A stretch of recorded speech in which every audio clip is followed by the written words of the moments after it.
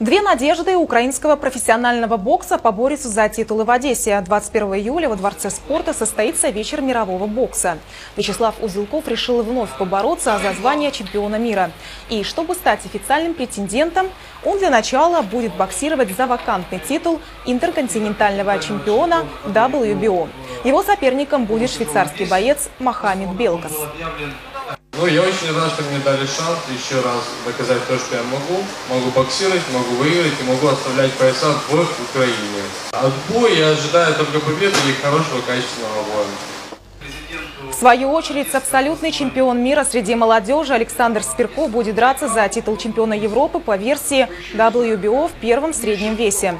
В сопернике ему достался испанский нокаутер Хавьер Гарсия Рочи.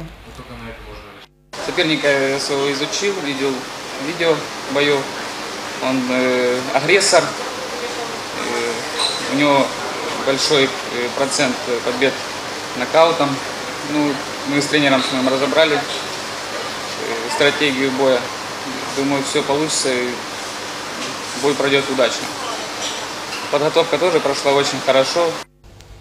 Помимо главных поединков вечера 21 июля одесситы увидят ряд рейтинговых боев. Наиболее интересными будут схватки Максима Бурсака и супертяжа Андрея Руденко.